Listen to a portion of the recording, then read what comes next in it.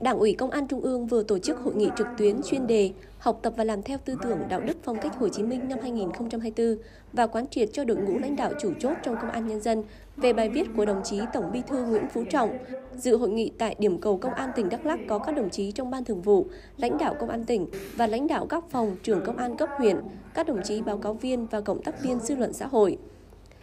Theo chỉ đạo, hướng dẫn của Đảng ủy Công an Trung ương, chuyên đề học tập và làm theo tư tưởng đạo đức phong cách Hồ Chí Minh năm 2024 trong Công an Nhân dân là Công an Nhân dân gương mẫu đi đầu học tập, thực hiện di trúc của Chủ tịch Hồ Chí Minh, xây dựng đội ngũ cán bộ, đảng viên cần kiệm, liêm chính.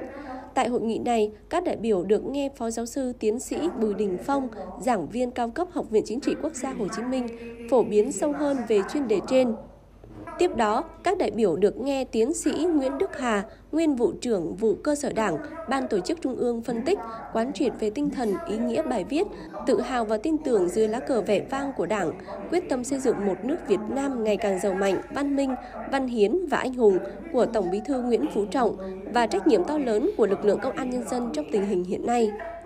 Hội nghị chuyên đề học tập và làm theo tư tưởng đạo đức phong cách Hồ Chí Minh năm 2024 và quán triệt cho đội ngũ cán bộ, đảng viên, lãnh đạo chủ chốt trong công an nhân dân về tinh thần ý nghĩa bài viết của đồng chí Tổng Bí thư Nguyễn Phú Trọng lần này nhằm để thực hiện tốt nghị quyết số 12 của Bộ Chính trị về đẩy mạnh xây dựng lực lượng công an nhân dân thật sự trong sạch, vững mạnh, chính quy, tinh nhuệ, hiện đại, đáp ứng yêu cầu, nhiệm vụ trong tình hình mới và đưa việc học tập làm theo tư tưởng đạo đức phong cách Hồ Chí Minh, 6 điều Bác Hồ dạy công an nhân dân nhất là việc thực hiện di trúc thiêng liêng của Chủ tịch Hồ Chí Minh thực sự đi sâu vào thực tiễn hàng ngày, chuyển biến mạnh mẽ, thực chất từ học tập sang làm theo, bằng những việc làm, hành động thiết thực, cụ thể, nhân văn trên tất cả các mặt xây dựng đảng, xây dựng lực lượng, công tác chiến đấu của toàn lực lượng công an nhân dân, tất cả vì mục tiêu cao cả là phục vụ nhân dân, góp sức cùng toàn đảng, toàn quân, toàn dân xây dựng một nước Việt Nam ngày càng giàu mạnh, văn minh, văn hiến, anh hùng, sánh vai với các cường quốc Nam Châu như Chủ tịch Hồ Chí Minh từng mong mỏi